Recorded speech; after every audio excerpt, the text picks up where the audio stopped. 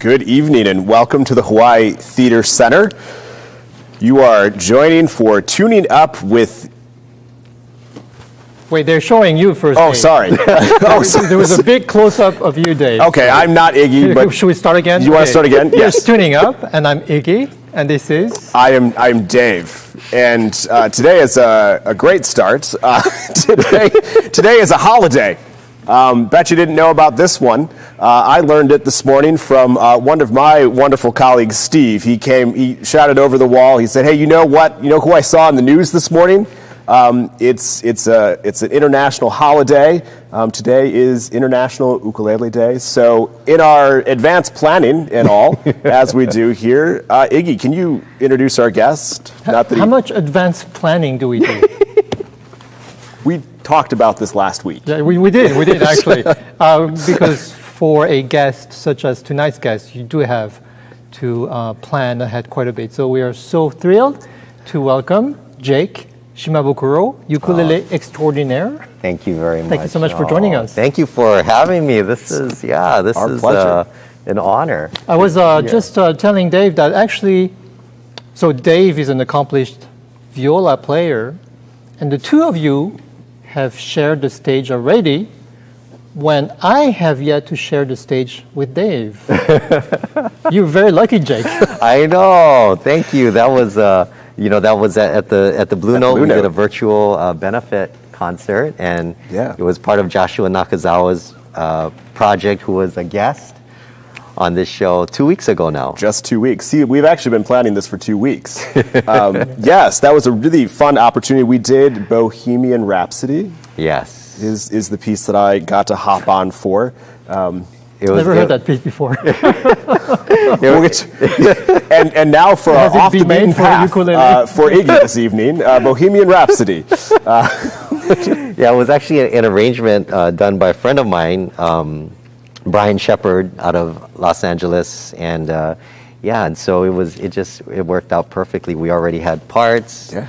For it, and um, yeah, and it's it's one of my favorites, and I, it's uh, um, it was written by Freddie Mercury, who was the lead singer of a band, right, Queen, and um, and uh, yeah, it's always just been one of my one of my f- all-time favorite classic rock tunes. Really? Oh, What's yeah. your second favorite? My second favorite, I, I, I don't usually think about what Oh. my second favorite is. It's usually always Always my favorite. favorite. But They yeah, are it's- just favorites. yeah, yeah, just favorites, just favorites. I have to I have to tell you, and I don't think we've we've ever talked about this before. The first time I heard you play was at Spoleto Festival in Charleston, South Carolina. Oh, I was I was there for uh, the classical music festival. Yeah. Um, and I remember you know seeing the billboards of this as at the time it was the you know the ukulele concert because I was from Chicago and I didn't know any better. Um, and I I came in with this you know perception of oh palm trees and and kind of this misguided idea of what I was going to hear that night. And I think it was um, my guitar gently weeps yes. hearing you play that on the ukulele blew my mind and was one of those kind of defining moments in my life where it was like this is the potential when we think outside the bounds of what m- music can be and should be and, and all of those sorts of things. And I, I just it was outside in a park. Just have a very vivid memory of this. And uh, i'm you know can't believe i'm sitting next to you having this conversation so No, that is a great festival. Though. Yeah. yeah. I used to go there every other year, perform. It's a beautiful city, as Yeah. you know, and yeah. Well, that that was, um, you know, that arrangement.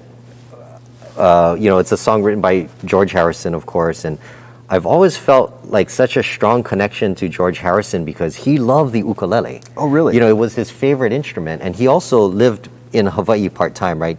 He had a house on. He has a house on Maui, and um, so I just remember that that you know I mean all of his songs to me anyway the chord voicings just the way the melody is laid out works so perfectly on the ukulele and if, if he were alive today I, I would have loved to have asked him if he got a lot of his melodic ideas from playing the ukulele you know because they're they're just they work so well on that on that instrument Good. Yes, the harmonic changes Mm-hmm. work beautifully. You know what, Dave said about his um, introduction to the ukulele and maybe his, uh, you know, uh, judgment reminds me of, of something you said on a, on a TED Talk show, and you said the nice thing when you have a ukulele and you're about to perform anywhere in the world is that people have low expectations. that's that's always you know I, I say that all the time, but it's it's so true, right? But it's like, um, and I, I joke around about it, but to me, that's one of the that's one of the um, I don't know, just one of the captivating things about about the instrument or, or the charm of the instrument is you see this very simple. It's it's a four string instrument, but unlike the the violin or the viola.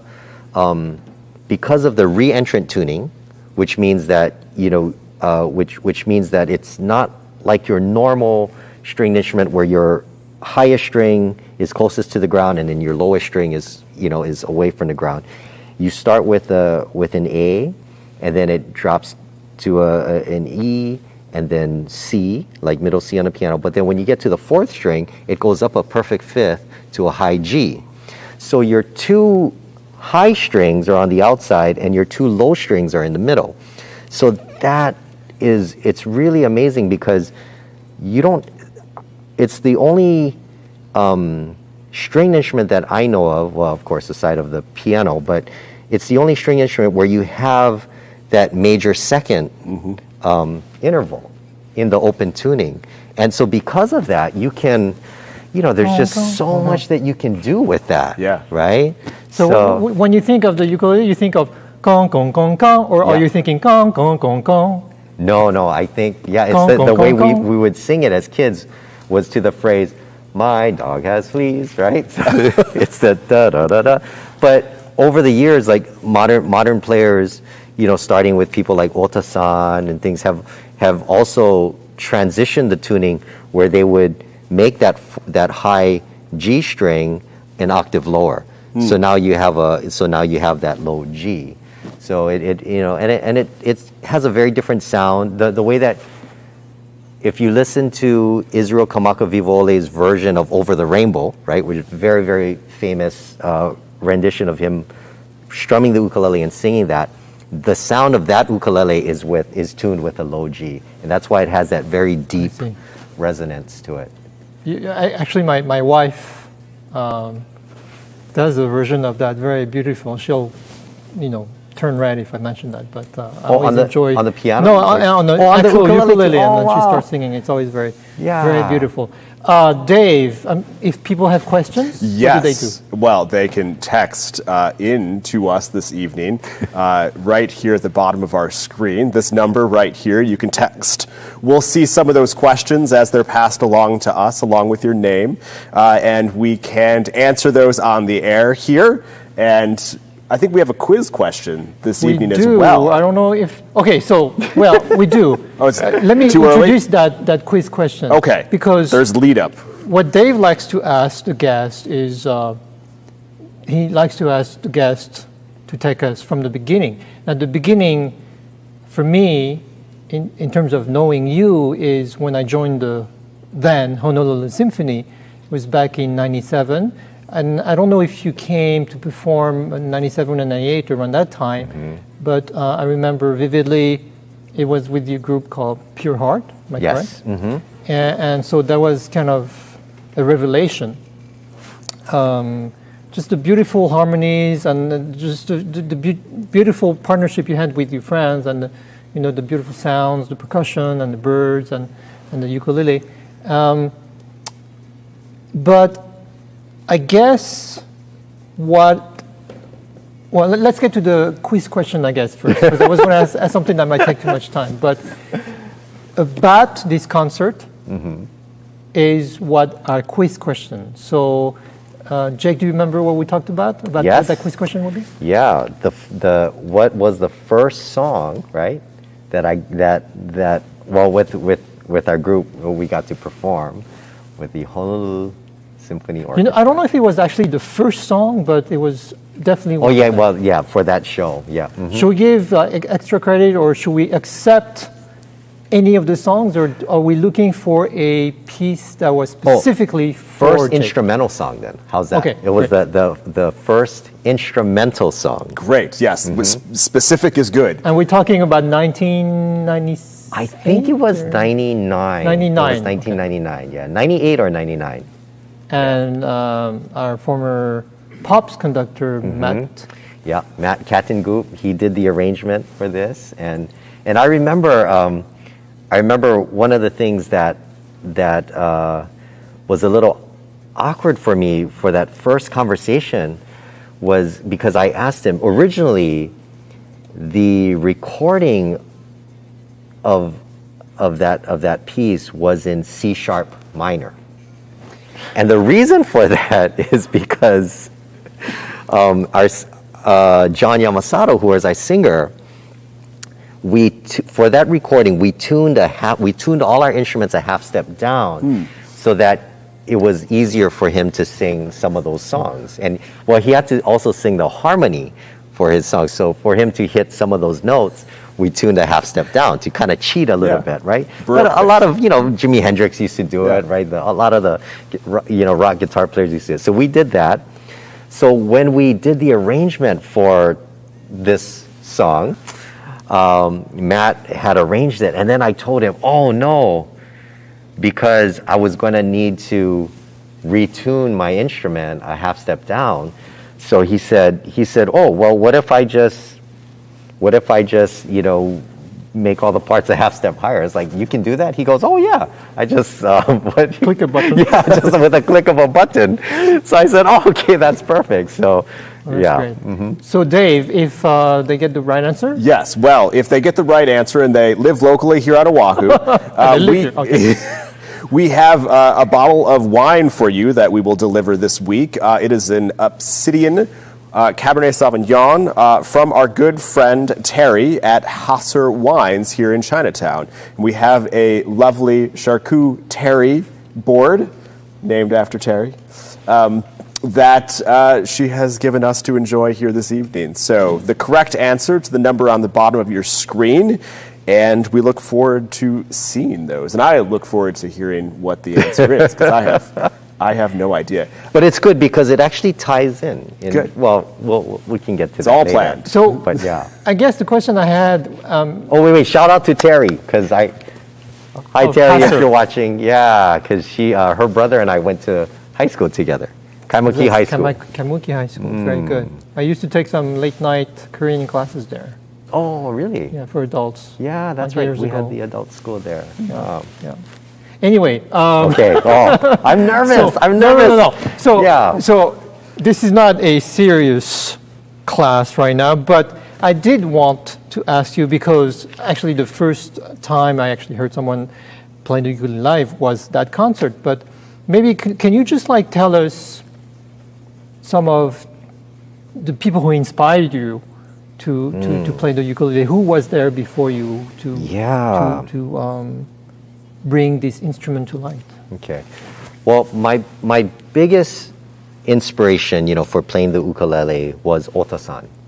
Ohta-san, uh, I mean, recorded, gosh, probably a hundred records, but he was uh, he learned from Eddie Kamae, right? Who was who's regarded as the first ukulele virtuoso, who paved the way for all of us. And um, but Ohta-san to me was the most versatile. You know, he was just so diverse. I mean, he was an incredible. Of course, he played. He his arrangements of a lot of traditional Hawaiian songs were magical, but he was an exceptional um, jazz player. I mean, he could improvise over anything, and his his chord voicings, his technique was just incredible. He could cross genres. He would he would do beautiful um, arrangements of classical music. Um, he would take Japanese folk songs. You know, he he was one of the first guys that I know of that actually recorded with a full symphony orchestra. It was a song called "Song for Anna," and and you know decades ago, uh, Andre Popp, you know one of the the famous um, composers, heard Ohta-san play, and uh, and was just so mesmerized by his playing. And th- this is the story that was told to me from by uh, Ohta-san's son, Herb Ohta Jr., and was so mesmerized by his playing that he, he went up to Ohta-san after the show and said, you know, I'm going to write a piece piece for you and you're to and I'm going to fly you up to Europe and we're going to record it together. And Ohta-san at the time was like, "Oh, yeah, sure, we'll see." And I guess a few months later or a year later, he contacted Ohta-san said, I, I wrote this piece. I want you to fly up and, you know, let's record this." And they did this this this piece called Song for Anna. Sold millions of copies worldwide. And uh, to me, it's it's just one of the most gorgeous ukulele pieces you know ever written with full orchestra. It's absolutely stunning to to hear to listen. I still have the vinyl, you know, at at home. And is it something that you've had the opportunity to play with orchestra? Uh, no, never. Yeah, actually, I that's that's one song I I, I never touch because to me Really? it's Ohta-san's Yeah. song. And the other thing with that song is, at the time Ohta-san was playing with a low fourth string, so you can't actually play that song in the traditional mm-hmm. tuning with the reentrant tuning. I mean, I mean you can, but it just wouldn't sound exactly the same because you wouldn't have anything below middle C. Yeah. Yeah. But it's a beautiful, beautiful piece. If you haven't heard it, I, I, you definitely have to hear it. Yeah. Can I ask? We we had a guest a couple weeks ago, Ron Artis II. Oh, and yeah. We we did a, a little project with Ron uh, where he played with the symphony, and we were talking about the experience of playing with a symphony. You- you- it's much different than playing a solo show or playing with a your band. Mm-hmm. To say, what's that like? Can you describe that? It's, it's the s- scariest, most intimidating feeling. Really? Oh, yeah. oh, my goodness. It's, um, and, and I love Ron. Ron is so talented. You know, I know uh, Josh Nakazawa was talking about him when he was on, and Josh said he's listening. So, Josh, if you're if you're listening, but um, yeah, Ron is so incredibly talented. You know, I, I his his voice, his songwriting, you know, his guitar playing chops. I mean, he can play every instrument, um, but just so much music, right? Just comes out of him.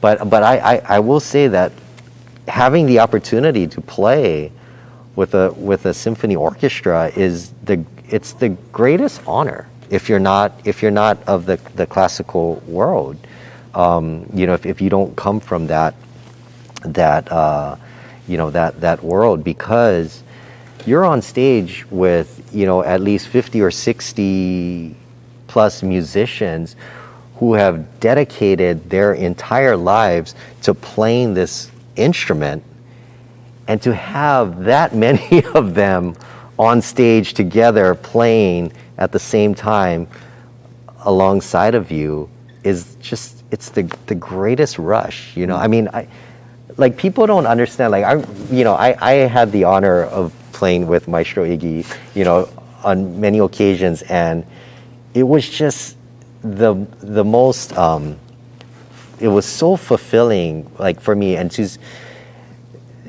and just just you know for those of you that, that are watching that that maybe um, are not familiar with with the caliber of classical musicians um, that I, I want to share this story. There was this one time we were going to play you know there was this this new piece that that that we are going to play and i i asked iggy because it was a piece that i think I, I i wrote this guitar part for it. So i was going to play the guitar part and there was a, an ukulele solo somewhere in the in the middle.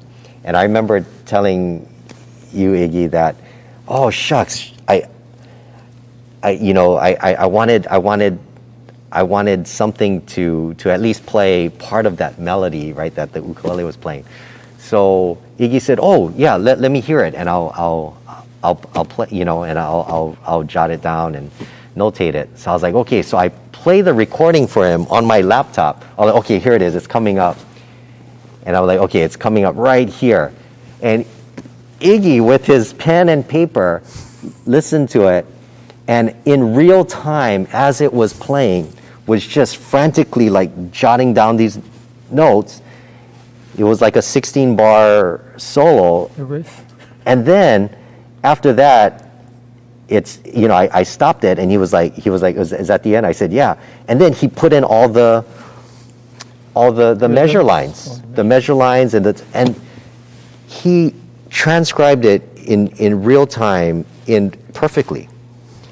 Well, And it was like just it just you know again it was just uh, it's just amazing to you know the, the, the, the time the commitment the dedication the the caliber you know musicianship that that is required of the kind of music that you play every night.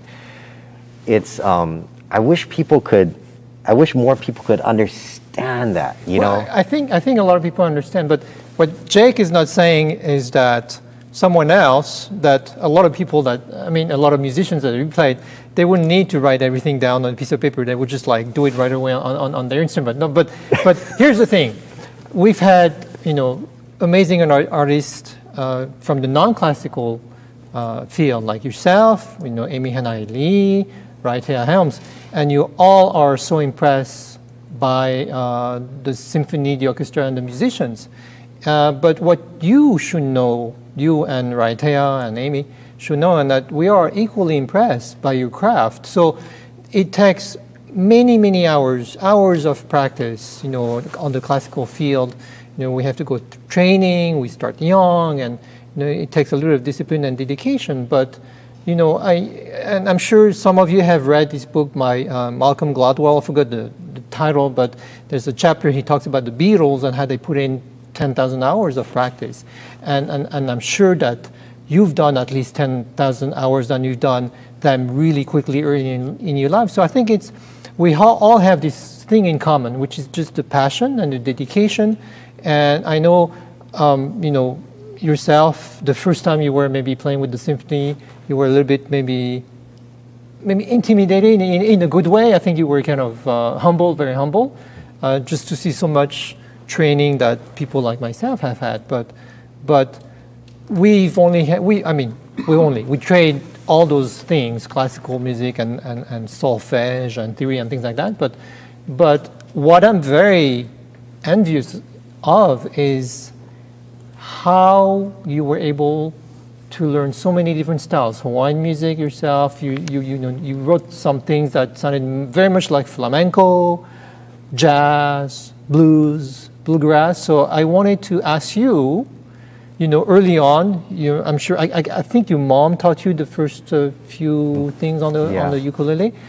How were you able to learn all the technique and the chords and, and playing single lines, melodic lines, but also like, did you have all kinds of music laying around at home? Because like you had Hawaiian music, you had jazz, and I mean, eventually you learn everything, right? So how, how did you find all those inspirations?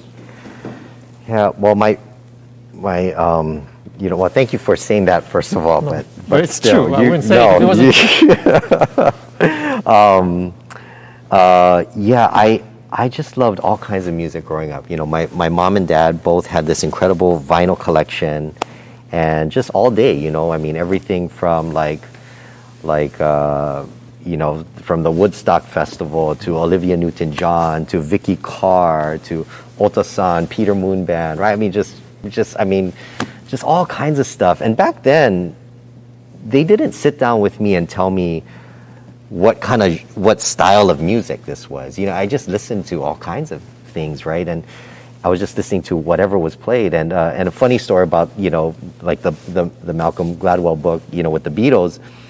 Uh, so my dad had a Charlie Byrd record, who was a you know gifted guitar player, played nylon string guitar, but did a lot of bossa nova and arrangements and things like that. But he had a record where he covered a bunch of pop songs, and on there were a whole bunch of Beatles songs.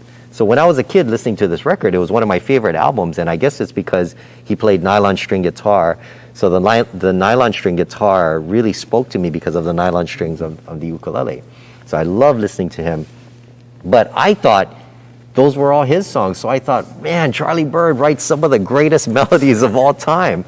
You know, so I didn't even know that that those songs like Yesterday and Michelle and all that. I didn't know th- those were written by the Beatles. I didn't even know those songs had lyrics because I was just hearing them as instrumentals.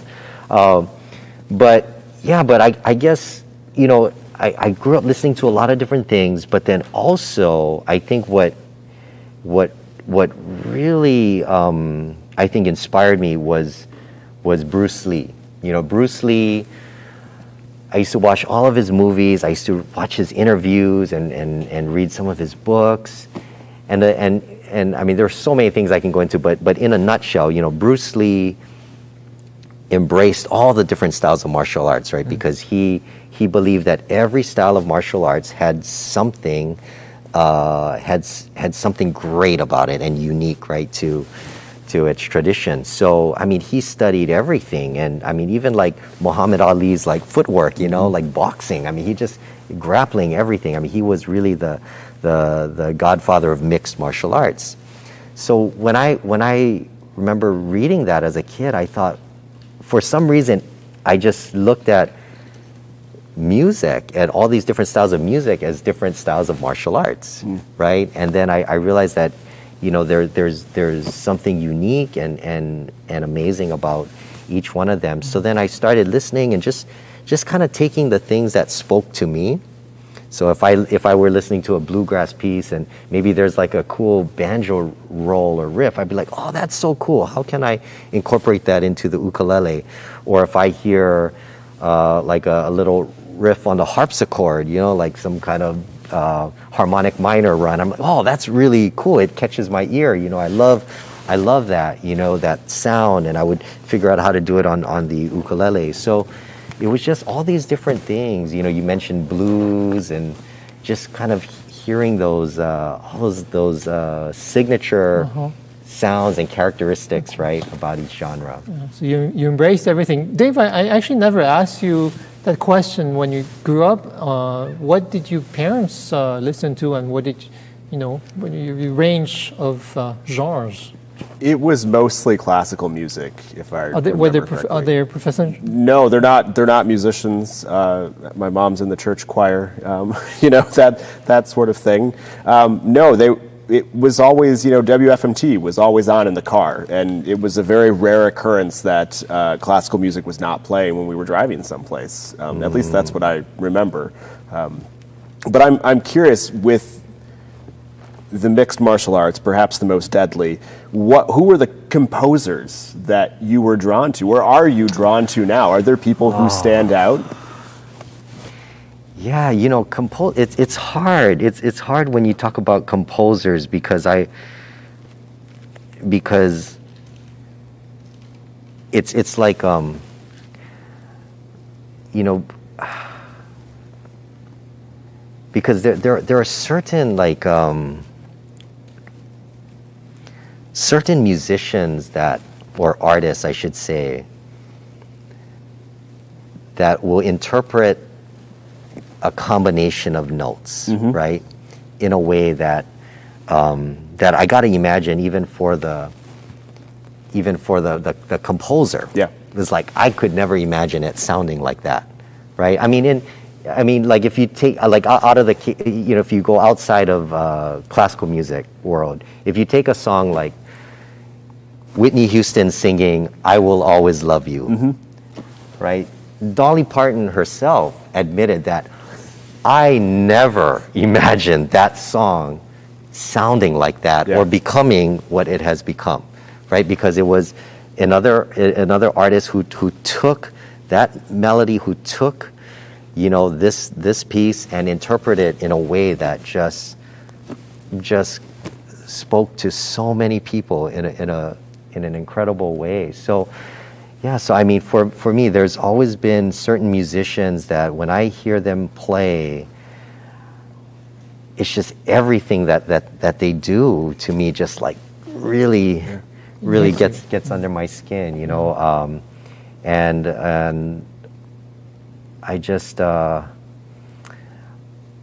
I don't know, like if, if I had to just name a, a, a few off, off the top of my head, you know, like like when I hear when I hear someone like Edgar Meyer play, Yeah. just um, I remember one of the one of the first recordings I, I bought of Edgar Meyer.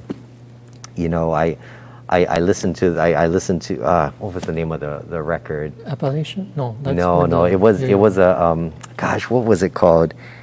It wasn't his bluegrass, but anyways, I I was I I, tur- I turned it on. I'm listening to it. I'm just like, oh. And I, I didn't I didn't read the inside yet, so I just wanted to listen. And I'm listening to it. I'm like, oh man, he's got a whole ensemble with him, you know. So I thought he had like a little chamber, Yeah. you know, orchestra or something. But then later, I found out that that was him playing all those parts Yeah. right? So to he- to imagine him playing up in that high register on on his double bass, it just like blows me away, right? But but anyways, you know, it's it's people, it's it's musicians like that, or like when I think of like the day, like Paganini, right? You know, I mean, you think of of Paganini and and and he was so virtuosic, but but also because he was writing these pieces but he was performing them mm-hmm. in a way that just excited people and and just would like just electrify right the room. So i think that's what that's what made it so so powerful. So i think you know it's that combination of of the of the of the piece and the right person to interpret those Yeah, I think those you, notes you're making a very good point. Uh, because actually, I, I, I, I- I like to do tango, and in tango, it's very, very important who whose style you're doing because you had a piece by a composer, Stamponi, but but then you have different tango orchestras, and they would do a piece very different from other orchestras. So have Pugliese style, Lorenzi style, and so the performer um, takes a whole different new dimension. Um, you mentioned something about maybe you hear a chord on the harpsichord, which reminds me, I haven't checked with her, but you actually did take piano lesson with Ethel Iwasaki, is that correct? yeah So, Eth- hi Ethel, oh is she watching most likely. Oh, Ethel, hi. Yeah, you know, um, she was a huge, um, you know, it's oh, she's an incredible teacher, of course, right? Um, but she was so influential, and I, I got to tell her this once. You know, I told her, you know, Ethel, thank you so much for you know, for um, those lessons. And, you know, you were just so uh, influential in the way I approach music. And she looked at me, she, you know, what, what are you talking about, right? but she never knew this all these years. There, and, and, I, and I'll never forget this because this was such an, such an epiphany for me.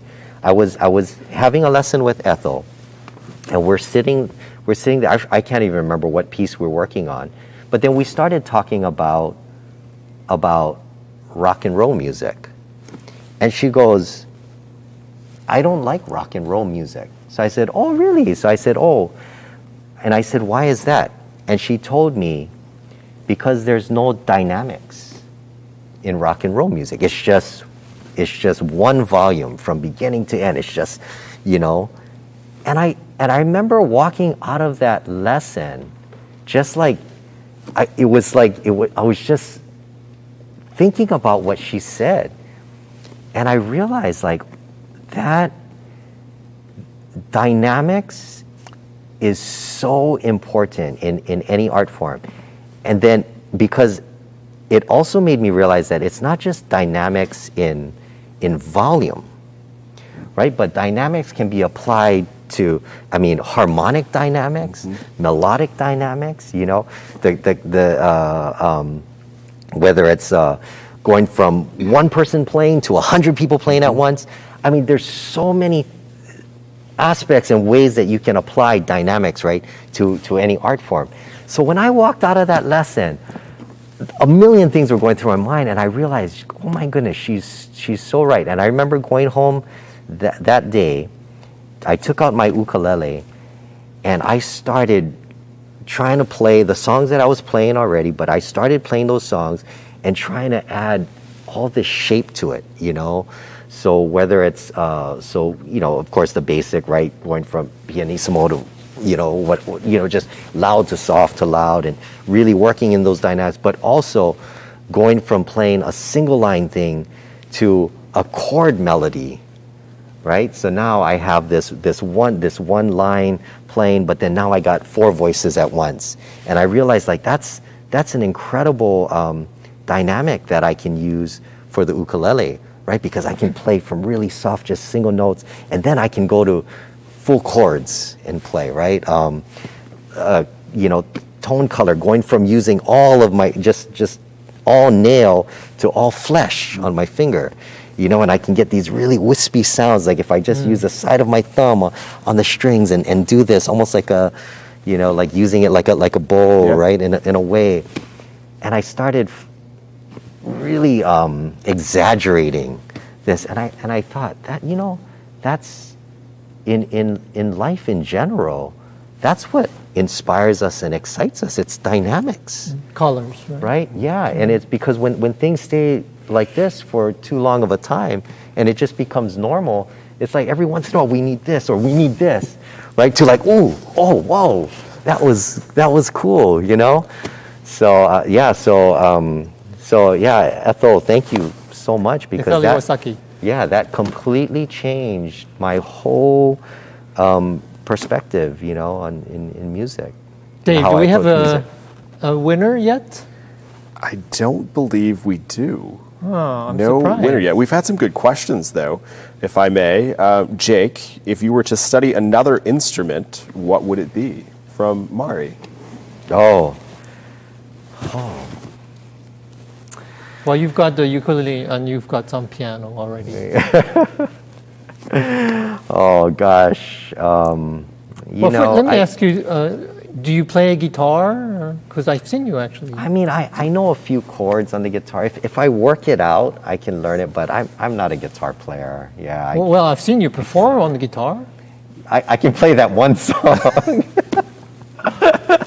um, yeah, I just, I guess, um, I guess maybe the maybe the bass, you know, because that's to me, it's the, it's the other half of my instrument. you know, it's that, that the sound that I don't have, but, uh, and that's why I love playing with with bass players Yeah. or or even cellists, right? Like you mean uh, you're talking about the bass or the, the bass guitar or the bass line? you know, either one. Okay.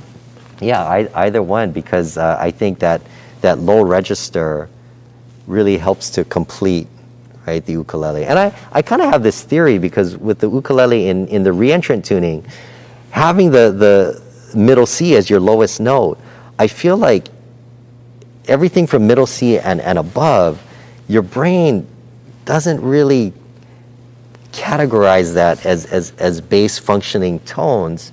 So on the ukulele, it's so it's so much easier to play because you don't have to worry so much about bass resolution, right? And like, you know what, what's what's happening uh, in the in the lower register, so you can play so freely.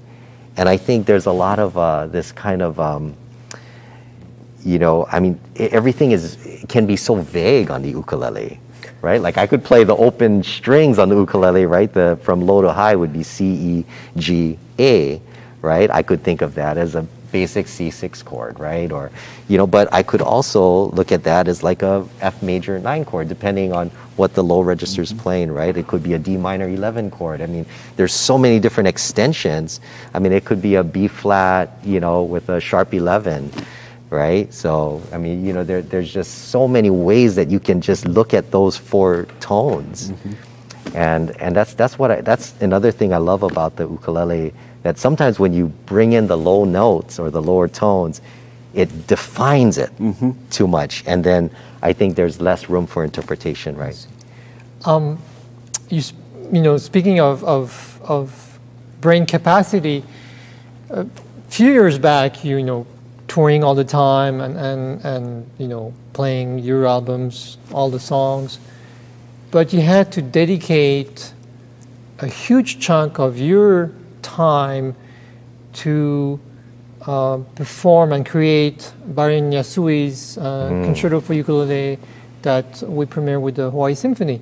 And it's, I, I'm, I'm, I I think I'm, I'm not wrong in saying that it's kind of a, um, a genre that you went quite performing before that. So you sort of have to shift gears, and not just like three weeks before, but from the time that Byron maybe created the concerto and and and what I- remember vividly is, is you know was a, a massive piece. And so we premiered that piece. Uh, and the crowd was so appreciative. And I could feel all the emotional and physical energy that you had to put into that work that when we finished perform, performing that concerto, you just, you know, you burst into tears because I think the, all this whole emotional release of all this effort and energy that you put in, into that creation, and and then that you, you did it and we did it, the symphony, and JoAnn Falletta conducted it, and, and just like a, a catharsis. Uh, It felt like. Tell us about your your experience. that was just by, you know, as far as anything that I've I felt like I've ever accomplished, you know, in, in my my life outside outside of family and things like that. I mean that that was truly what I feel is my my greatest accomplishment and what I feel most proud of, you know, that I've ever done, you know, uh, hands down musically you know, Dr. Yasui's piece was um, was uh, was very atonal, and that that um, the the the things that were coming, you know, what I was the sounds that was coming out of my yeah the sounds that were coming out of my ukulele were so foreign to me because I had never played those combinations, you know, those combinations before. So hearing this, it was it felt like I was hearing the ukulele for the first time again because I was playing things that I had never ever played before, you know. Um, and and I got to send a big, you know, I, I have to acknowledge um, the Masaki School of Music, Right. you know, because, um, you know, Nancy basically. Um, Nancy Masaki. yeah, Nancy Masaki basically uh, allowed one of her her top her you know top instructors, Brent Nita, to work with me for three months to ser- to serve as my music coach, you know, for this project. So Brent was playing the orchestra line Yeah, yeah, on the piano. and we met Monday through Friday, every day from 9 a.m. to 3 p.m.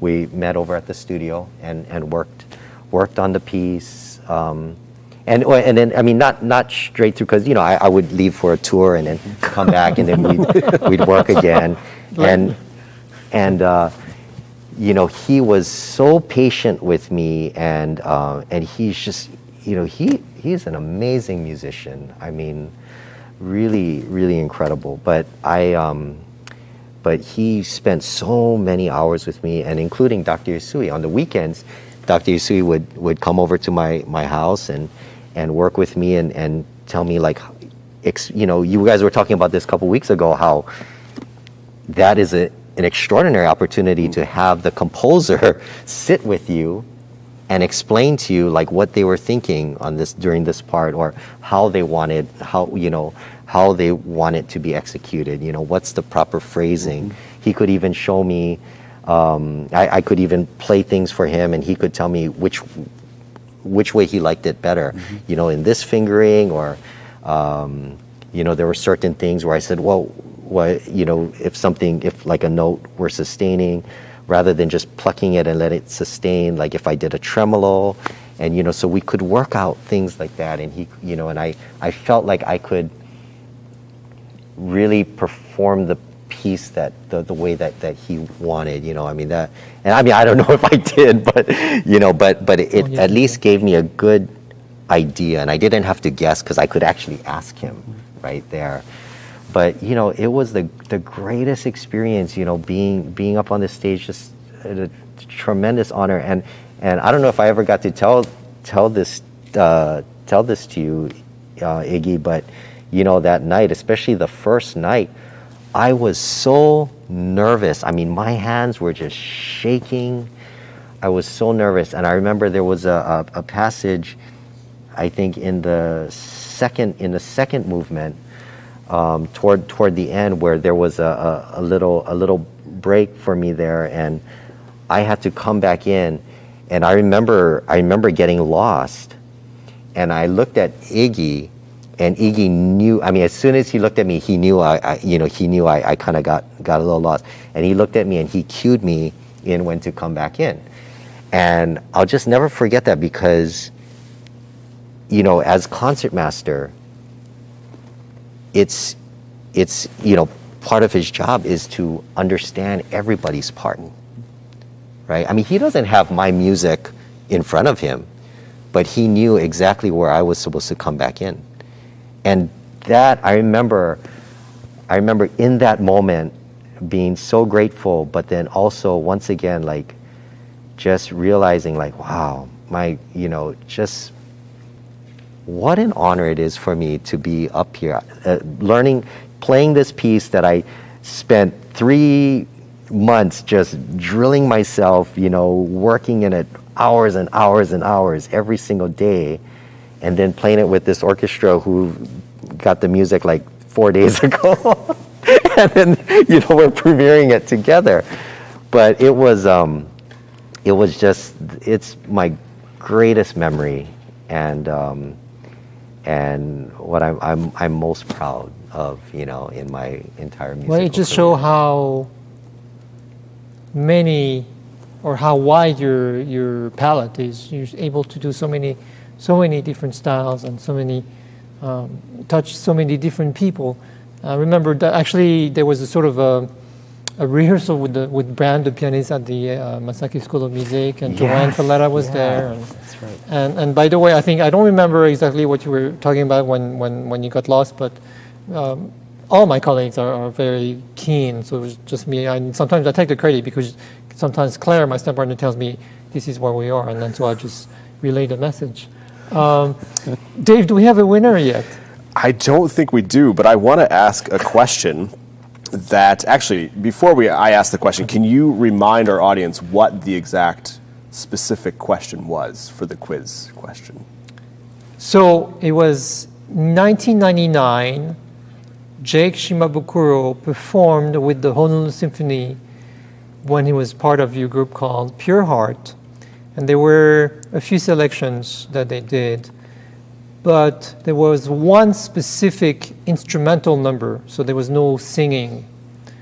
And that really um, featured the ukulele as a solo instrument.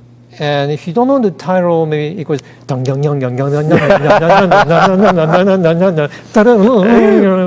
so um, with um, we're going to take these excerpts of Iggy Siggy each week and combine them into a full length so feature very film. much inspired in the style of a famous B composer. we have a winner. Ah wait, did you just hum it in C sharp minor or was that in D minor? I don't remember. Uh, our winner is Helen this evening. oh, Does Helen have a last name? Thank you, Helen. Oh, Helen Wong. Congratulations. Congratulations. As in, Is that Randy's? Randy's Helen? No, no, no, no, No? no. Huh? No, because because who we're thinking about has kept her maiden name, so it could be. Who knows? who knows? Well, I hope someone does, because otherwise we'll have to drink this bottle of wine. And what is that bottle of wine again, Dave? It is Obsidian, uh, a Cabernet Sauvignon from our friends at Hasser Wine. Thank you, Terry. Thanks, Helen. Jake, Thank I. I did want to ask you. So we talked a lot about on-stage things, you know, your performance. Um, one story I remember, I you know, we were having dinner and there were a lot of people and a lot of very important people on your team and some fans or maybe a fan club, and and, and you were there, very humble and.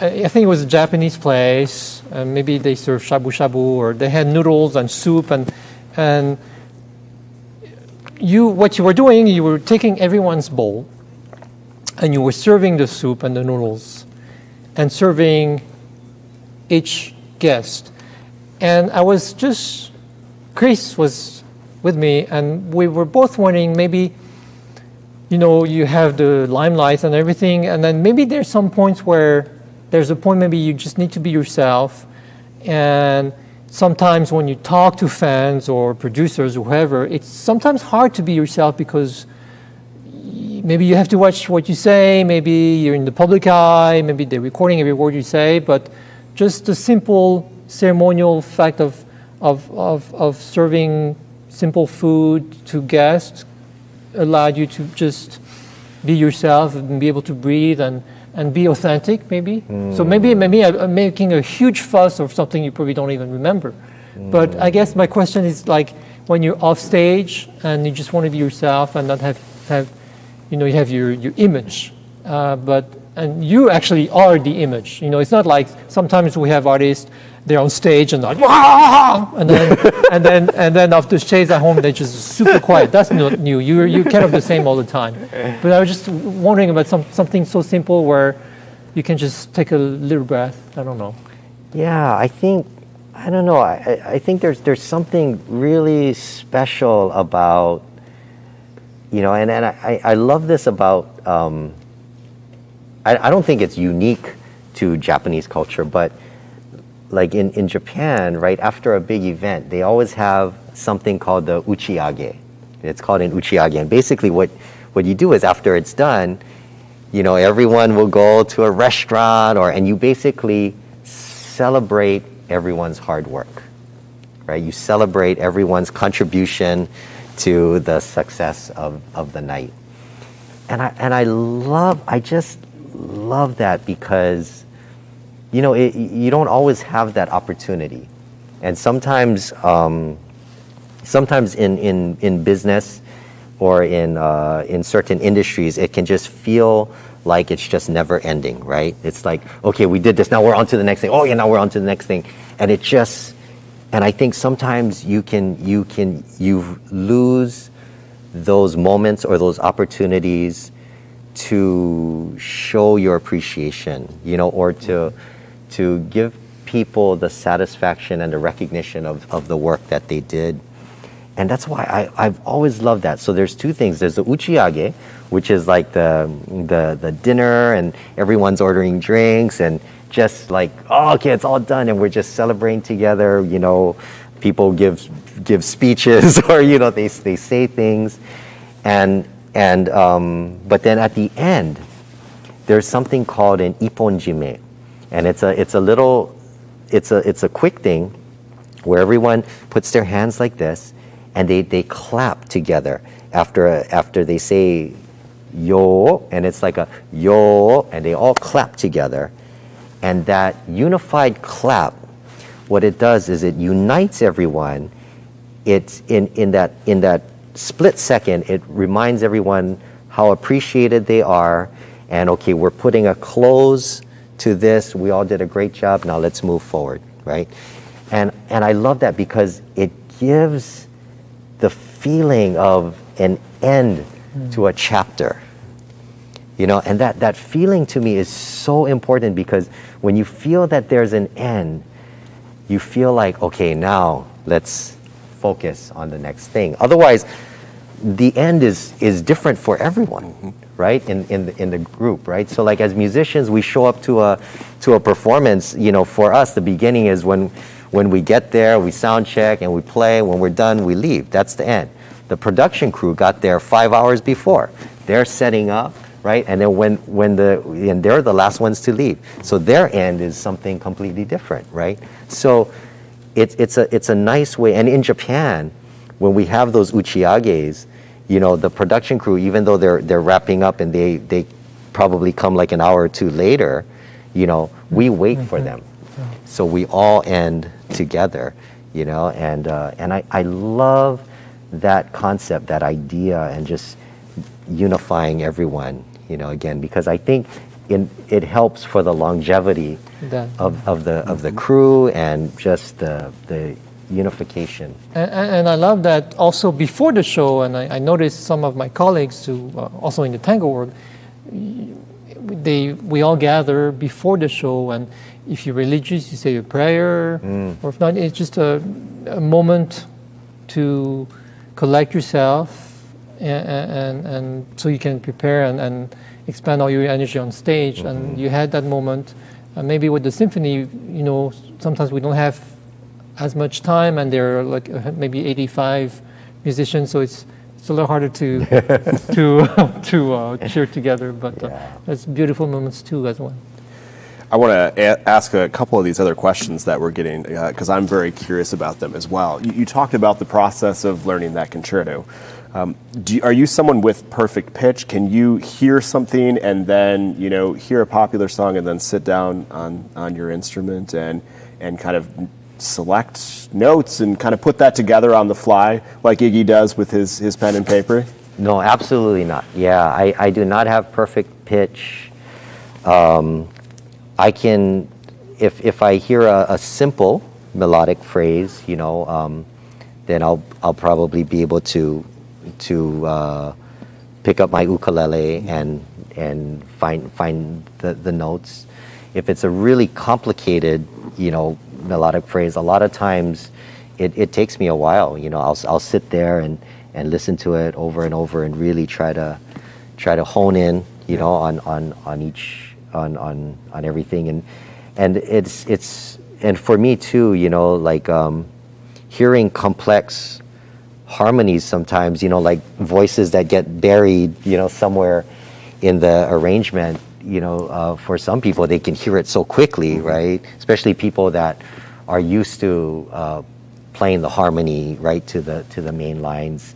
I've always been I my majority of my life I've always focused on on the on the main line, right? So so um, but in the last I know 10 15 years I've kind of tried to make it a point to focus on the on the on the second voice or the third voice, you know, uh, just to just to kind of get um, get my ear trained you know, to, listening to, to, do that, that. viola. Yeah, yeah. but but it's it's hard. I mean, it's a real skill. It's something that you have to uh, you have to spend a lot of time doing. You know, and it's not one of those things like, oh, it's like if you haven't done it in a while, it's like getting on. You know, not for me anyway. I mean, you have to you have to constantly do it. You know, it's the same thing with reading music. I'm a horrible sight reader. You know.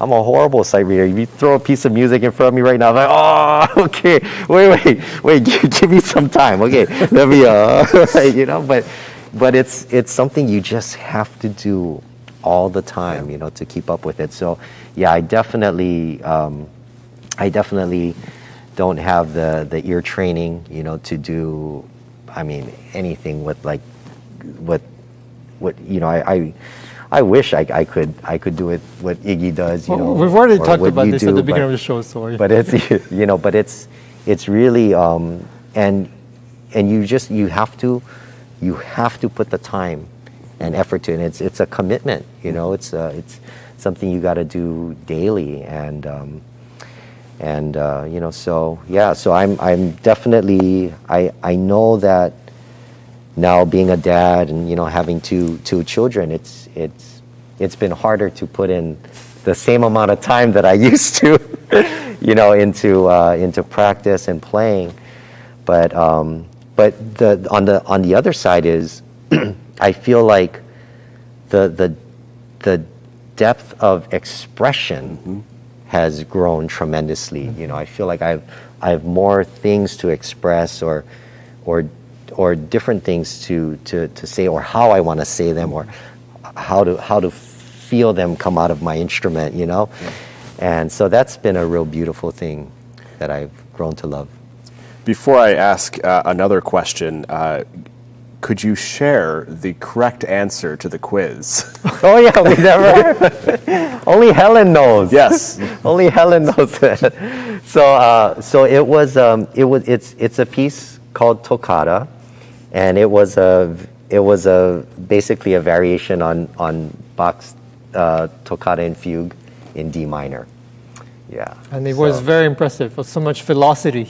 Oh, oh, thank you. But yeah, it's um, but I I yeah, but I I, I never. Uh, but we didn't we didn't play the the intro and all that, right? It was just the the the um, I guess what I what I the called the main the main line, the da da da da da da da da da, right? but um, but yeah, that was uh, you know what inspired me to to do that on the ukulele was many years ago. I mean, I've always been familiar with the piece, right? You know, because you you hear it in movies and and um, you know, it's such an iconic sound. You hear it like in those uh, Dracula movies. it's like right, da da da da da da da da, right? But um, what what and and this was another uh, turning point in in the way I, I listened to music and approach music was because I've always had um, I've always had a uh, an appreciation right for all different genres of music, but I remember gosh was it the 90s it was was it early 90s or late 80s but there was a, a young musician by the name of Vanessa Mae Uh-huh. who who came out and she was kind of regarded as like a crossover right? Classical musician into kind of pop or early you know EDM electronic dance music kind of thing. And and that was one of the pieces that that she played. And I remember seeing her with her electric violin and you know there was a electric guitar player and a, um, you know a drummer and you know it was just it was like a it was like a rock concert. And uh, so I remember seeing that and I was thinking like wow that's that's kind of neat that she you know had this vision to kind of bring in these different elements that you don't necessarily hear in classical music, right? And and that's when uh, I think that's for me with the ukulele. I started experimenting with electric bass players and drummers, you know, and things like that, and kind of uh, made me realize that okay, you know, let's, let's you know try to try to branch you know branch out with different things and experiment, and it was a great learning experience, you know, and so yeah, I always, I mean, people like Noel Okimoto, who was always one of my heroes. When I was in high school, I played uh, drums in, in the marching band, and I also played drums in, uh, in the jazz ensemble. I was the worst, worst jazz drummer, but you know, Noel Okimoto was, um, was always one of my heroes, right? And then so fast forward, you know, like a decade later, and actually being able to share the stage with him and play with him. We've done things together with Noel too. Yeah. So, yeah. So, speaking of vision and the next decade, uh, a question that I, I like to ask and to put people on the spot what does the future look like for the Hawaii Symphony Orchestra, for symphonic music, uh, especially here in Hawaii? Man.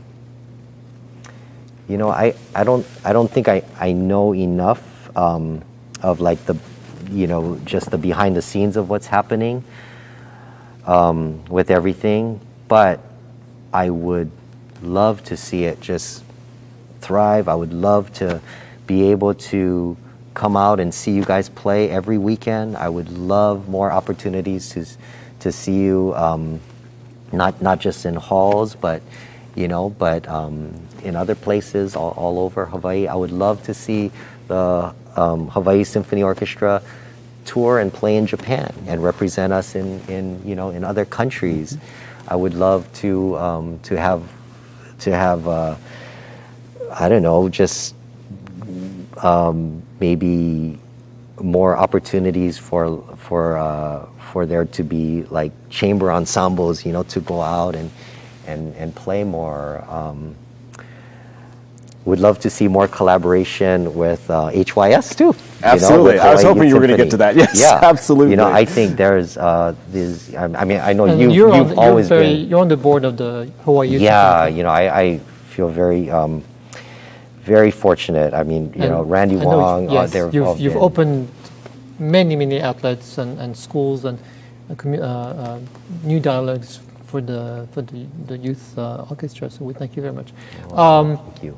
um, before we leave, I just, you have your latest CD called Trio. Is that uh, your latest uh, CD that is available? Yeah, it's Just it's the latest, but it was released in 2019, so it's kind of uh, like it's um, it's been a while. But I've um, yeah, you know, I think that's especially during this time. I mean, I've you know, I'm not traveling, and I used to travel quite a lot, right, for the last you know 20 plus years now. So, um, but spending time at home, it's interesting because you know you, you have to be creative and you find other ways of doing things like what you guys are doing and um, and I, I found that this has been um, there's been a lot of opportunity right now for collaborative projects which is great i mean even like uh, and, and not just with other musicians but other industries to collaborate and support each other.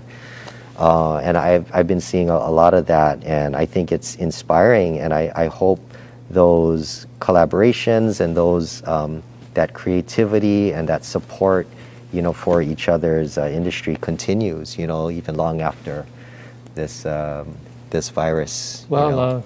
Jake, Dave, and Greg, it's a good time to collaborate. Yeah. Mm-hmm. And the, the, the, funny thing I, I, find is that you had a tune that was before the pandemic that uh, was called that is called the "When the Mask Come Down," and that was written before the pandemic. Yeah, I mean, we wrote that song in I want to say like the end of 2018, you know, or the beginning of 2019, and at the time, you know, we were talking about and and it didn't. We were like, yeah, it doesn't.